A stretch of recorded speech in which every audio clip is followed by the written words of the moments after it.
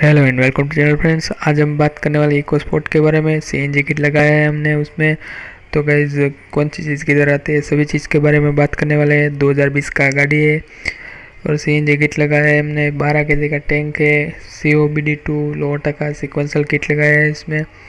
तो गाइज़ कौन सी चीज़ किधर आती है? सभी चीज़ के बारे में बात करने वाले कौन सा पार्ट का क्या यूज़ होता है?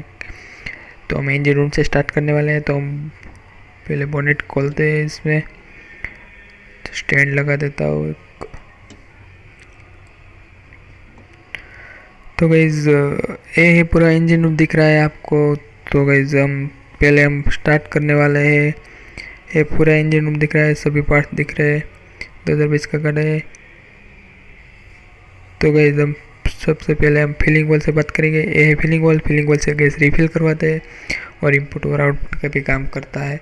तो गैस हम आगे बढ़ते हैं। तो आगे ये है मीटर मीटर मीटर गैस भी बोलते हैं उसको, सिलेंडर से आने वाली गैस को प्रेशर में इंडिकेट करता है स्विच को और उसका कितना पॉइंट है वो दिखाता है स्विच में इलेक्ट्रिक स्विच में।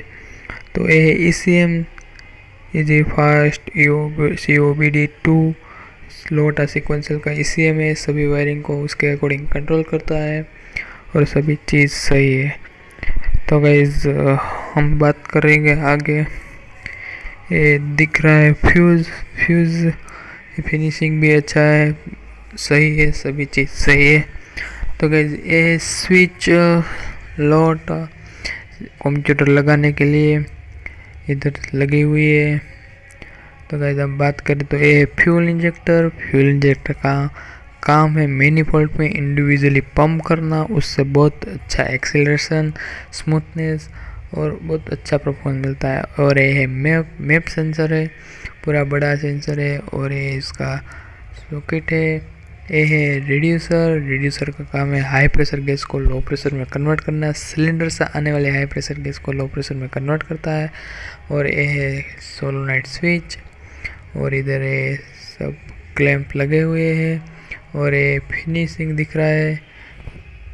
पूरा इधर से लेकर उधर तक जा रहा है। मीटर और बीच में ये फिलिंग वॉल और पूरा फिटिंग इधर दिख गया है हमको। तो ये पूरा इंजन रूम तो हम बात करेंगे सी एन जी तो लगाया है तो आरपीएम में प्रॉब्लम है। चेक इंजन लाइट आ रही है। कौन सी चीज़ में प्रॉब्लम है? हम सभी चीज़ के बारे में बात करने वाले हैं गाइज़ तो हम गाड़ी को स्टार्ट करने वाले हैं।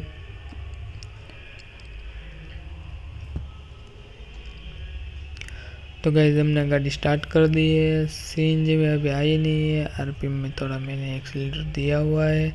सीएनजी में आ जाए इसलिए। तो गैस हम आरपीएम भी बरोबर है। थोड़ा एक्सीटर दो सी में गाड़ी आ जाए इसलिए। आरपीएम तो बाकी सही है। एसी भी चालू है। तो ऐसा कोई प्रॉब्लम नहीं है। तो सीएनजी में अभी आई नहीं। सी में आने के लिए थोड़ा टेम्परेचर सी में आ गई गाड़ी। सही है, सभी चीज़ सही है। कोई प्रॉब्लम नहीं है एसी भी चालू है, सभी चीज़ सही है आरपीएम भी सही है, गाड़ी भी सही है। और किट लगवाने के बाद कोई प्रॉब्लम नहीं है, कोई लाइट नहीं है, सभी चीज़ में अच्छा है। तो सबसे बड़ा सवाल होता है कि सिलेंडर लगवाने के बाद कौन सा बैग कितना बैग सब बैग रहेंगे, नहीं रहेंगे, कितनी बैग रहेगी, सामान कितना रहेगा, सबसे बड़ा सवाल होता है गाड़ी में। तो हम देखने वाले हैं डिकी को खोलते और एक खुलाओ वाह। अच्छा है, जगह अच्छा है, कोई दिक्कत नहीं है, आराम से तीन चार बैग रह सकते हैं। तो गैज़ ये पूरा C N G kit fit किया है इको स्पोर्ट में। तो गैज़ ये वीडियो आपको पसंद आए तो लाइक कीजिए शेयर कीजिए और सब्सक्राइब कीजिए हमारे यूट्यूब चैनल को। जय हिंद, जय भारत।